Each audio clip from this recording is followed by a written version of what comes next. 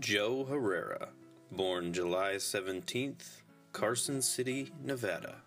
Taylor Prince, born January 22nd, Panaca, Nevada. Through a chance meeting at a UNLV Rebels game where both men were shirtless and covered in face paint, these two Nevada natives immediately hit it off and shared several stories over their love of big glasses and vintage clothing.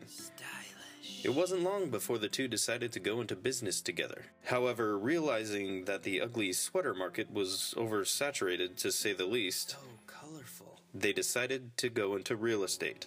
Thus, the Joe Taylor Group was born. Since 2004, Joe and Taylor have been helping individuals and families buy and sell their homes. That's over 10 years. They have sold over $150 million in real estate. They helped over 200 people short sale their homes.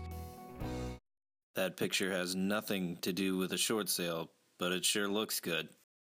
And they love supporting their community. For the Joe Taylor Group, this is only the beginning.